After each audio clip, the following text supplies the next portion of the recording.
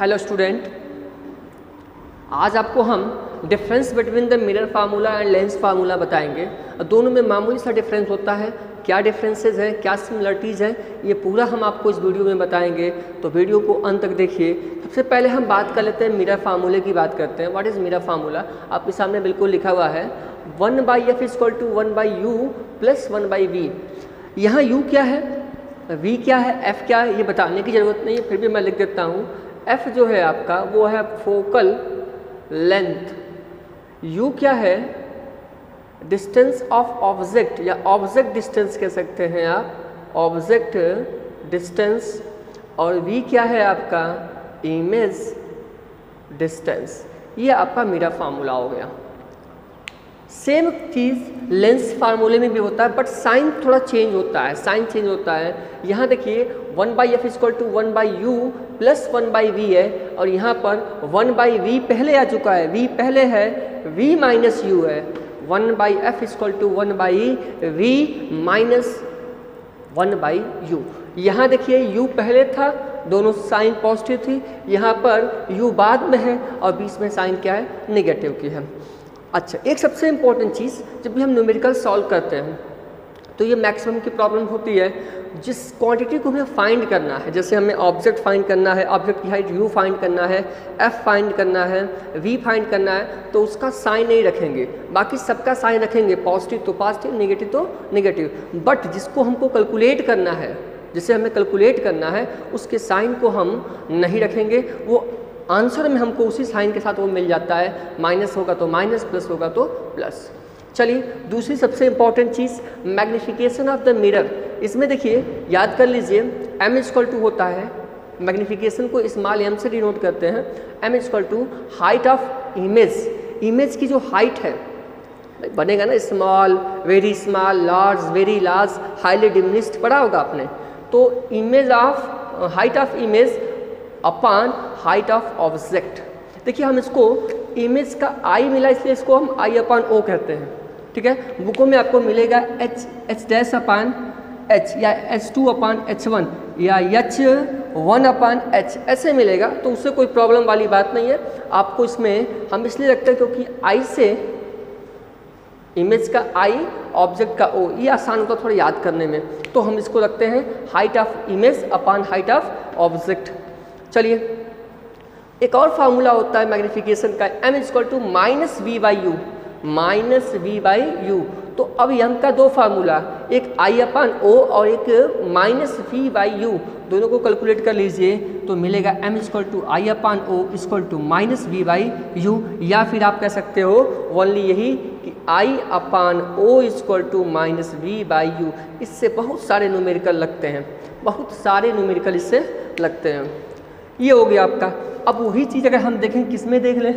अगर सेम चीज़ हम देखें लेंस की बात कर लें तो लेंस में भी आप देख रहे हो, आपको सब कुछ सेम दिख रहा है बट जैसे इसमें साइन था किसका? माइनस का साइन था इसमें, माइनस का साइन था, और इसमें माइनस का साइन नहीं है। Same cheese height of image height of object सब कुछ वही है बट यहाँ पर साइन क्या है? साइन कन्वर्ट हो चुका है, बदल चुका है, यहाँ पर साइन नहीं होगा। जैसा कि मिरर फार्मूले में साइन माइनस है तो मैग्निफिकेशन में, लेंस में मैग्निफिकेशन में माइनस नहीं होगा। सेम चीज़ अगर आप देखें कि मैग्नी लेंस में जो है, लेंस और मिरर फार्मूले में जो साइन का चेंजिंग है, वो मैग्नीफिकेशन में चेंजिंग आकर के मैच कर गया। तो इस तरह से आप ये देख सकते हो कि दोनों में थोड़ा सा डिफरेंस है, सिर्फ़ और सिर्फ़ किसका? साइन का। चलिए तो ये चीज़ें आपको थोड़ा सा दिमाग में रखनी पड़ेगी कि मिरर फार्मूले में जो मिरर फार्मूला होता है, उसमें पॉजिटिव साइन होती है, वहीं लेंस फार्मूले में नेगेटिव साइन होती है बट वी पहले होता है, यू बाद में होता है। ये थोड़ी सी चीज़ें आपको दिमाग में रखनी पड़ेगी। उसी प्रकार से मिरर के मैग्निफिकेशन में मैग्निफिकेशन में माइनस का सिंबल होता है बट मैग्निफिकेशन ऑफ़ लेंस में माइनस का सिंबल नहीं होता है। दोनों के फार्मूले एक जैसे हैं, बिल्कुल एक जैसे सेम जैसे बट थोड़ा सा डिफरेंस है। वो डिफरेंस क्या है? साइन का डिफरेंस है। वो साइन रखने की वजह से ऐसा हो जाता है। देखिए, हम कई बार कंफ्यूज हो जाते हैं कि हमें कौन सा साइन रखना है माइनस प्लस तो उसी की कन्फ्यूज़न को दूर करने के लिए हमने दोनों का कंपेरिजन कर दिया, एक साथ। कि आप यहाँ दोनों को जब एक साथ देखोगे तो दिमाग में आपके बैठेगा कि किसमें माइनस है, किसमें प्लस है। तो आपको बिल्कुल दिमाग में रखना है कि मिरर फार्मूले में पॉजिटिव, वहीं लेंस फार्मूले में निगेटिव। मैग्निफिकेशन मिरर में निगेटिव और लेंस में मैग्निफिकेशन क्या होगा? पॉजिटिव। इतना ही आपको रखना है। पहले मिरर पॉजिटिव, फिर उसके बाद लेंस निगेटिव, फिर मिरर निगेटिव, फिर लेंस क्या? पॉजिटिव तो ये चीज़ आपको दिमाग में बिल्कुल रखना पड़ेगा। यहाँ यम क्या है? मैग्निफिकेशन वी तो आप अच्छी तरह जानते हैं। वी क्या है? यू क्या है? आई क्या है? हाइट ऑफ़ इमेज ओ क्या है? हाइट ऑफ़ ऑब्जेक्ट देखिए, जैसे हम आपको दिखा दें, जब कभी आप इमेज फार्मेशन करते हैं तो इमेज फार्मेशन में आपने देखा होगा, चाहे लेंस की बात कर लें या मिरर की बात कर लें, चलिए मान लीजिए ये मिरर हो गया, इसी को दिखाते हैं। ये आपका फोकस हो गया सेंटर ऑफ़ कर्वेचर ये देखिए, ये चीज़ आपको दिख रहा है ये? ये चीज़ जो हमने रखा हुआ है कि प्रिंसिपल एक्सिस से ये कितना सेंटीमीटर ये चीज़ कितना सेंटीमीटर अपवर्ड डायरेक्शन में है? ये हो गया आपका हाइट ऑफ़ क्या?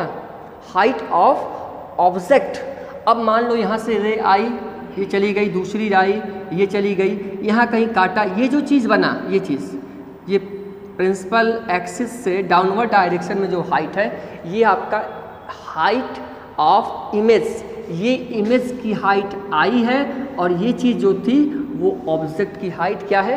ओ है। अच्छा सेम चीज़ और समझ लीजिए कि ये जो डिस्टेंस थी, यहाँ से ये ये यू है। प्रिंसपोल से क्या चीज़?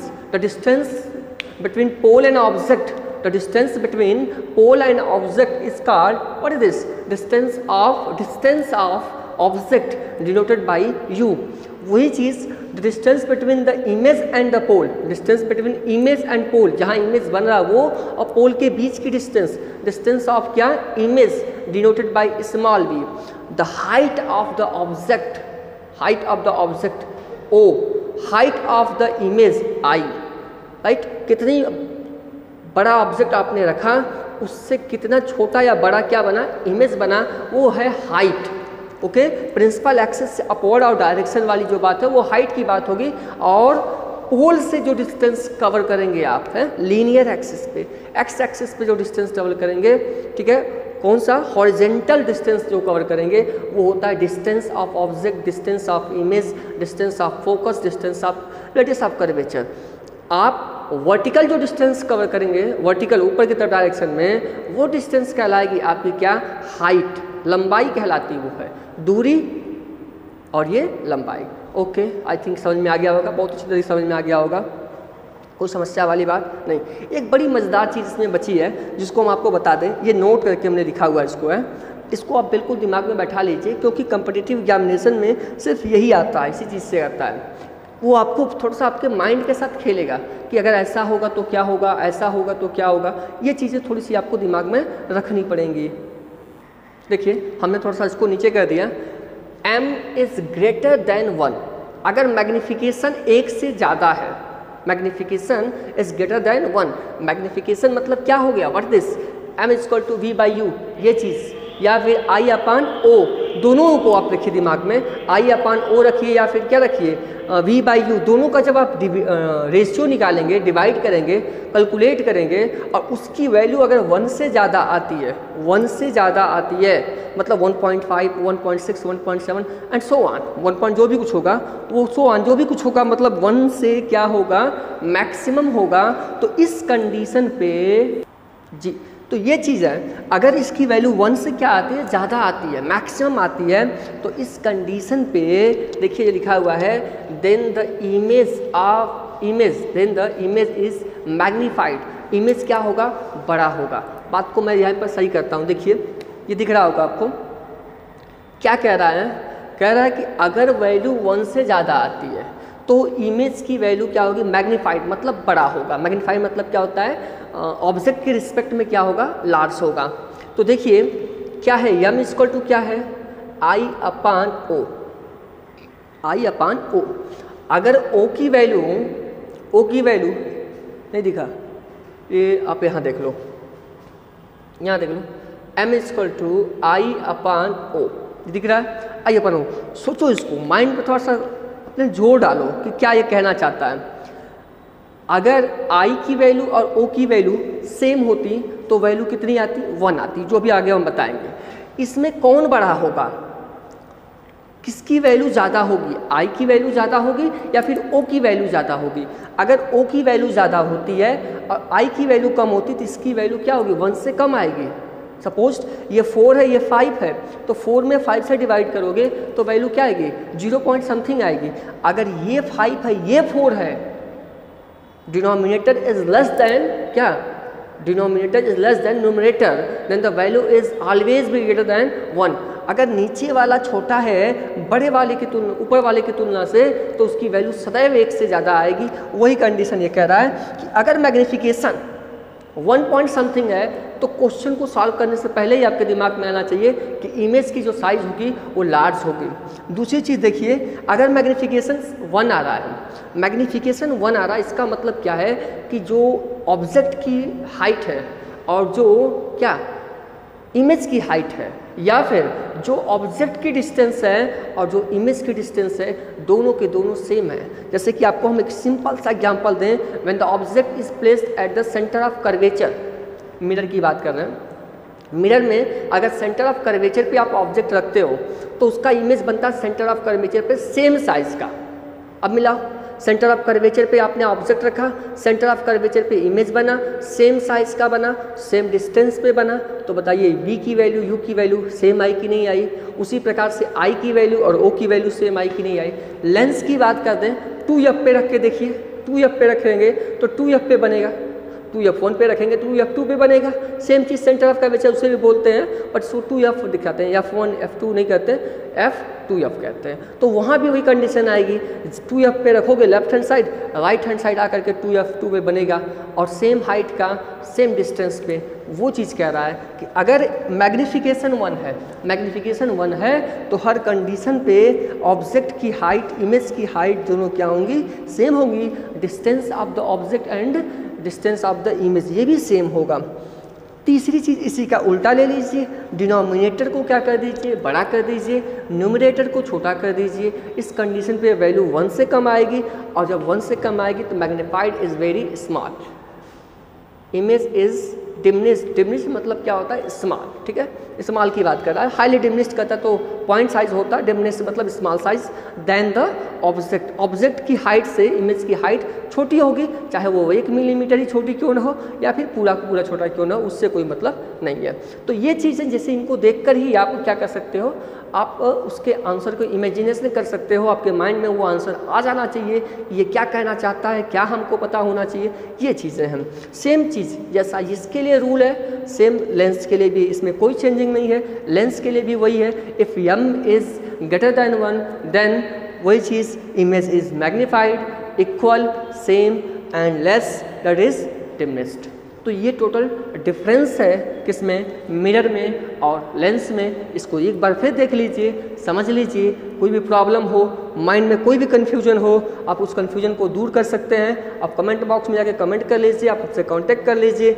हम आपके कन्फ्यूज़न को दूर करेंगे। गलत चीज़ें दिमाग में ना बैठाइएगा। बिल्कुल एग्जैक्ट जो समझ में आ रहा है, उसे दिमाग में बैठाइए। प्रॉब्लम जो भी होती है, उसे शेयर करने से प्रॉब्लम सॉल्व होती है। आज आप प्रॉब्लम अपनी शेयर करेंगे तो आप आज सही होगा। और अगर आप अपनी प्रॉब्लम शेयर नहीं कर रहे हैं तो वो आपके लिए प्रॉब्लम क्रिएट करेगा। ओके